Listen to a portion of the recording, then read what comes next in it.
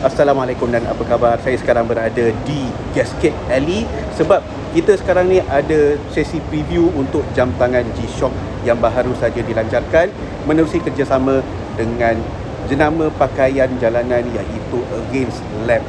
Kerjasama di antara Casio dengan jenama pakaian jalanan Against Lab iaitu sebuah G-Shock DW6900AL22. Ya, dia sebenarnya membawakan uh, ataupun menggunakan asas daripada jam tangan G-Shock yang pertama dengan ciri pencahayaan latar EL iaitu DW6900 di mana rekaan ini sebenarnya sangat popular pada tahun 90-an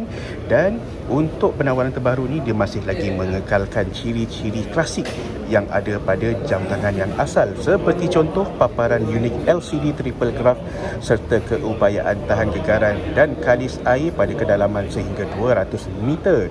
Selain daripada itu, ia juga tampil dengan grafik custom against dan juga slogan All Endeavour No Surrender pada bahagian tali jam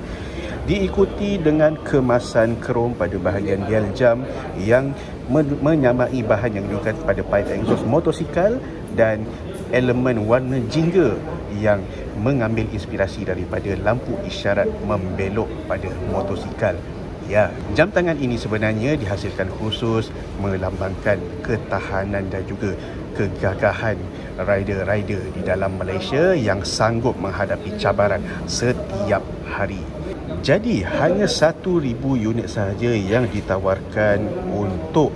Asia Tenggara di mana bermula hari ini tepat jam 6 petang hanya 100 unit sahaja yang didatangkan dengan pakej pembungkusan eksklusif boleh didapati bermula petang ini di Gasset Alley dan juga di kedai dalam talian Red Slab. Harga jualan pula bermula dari RM550 sahaja.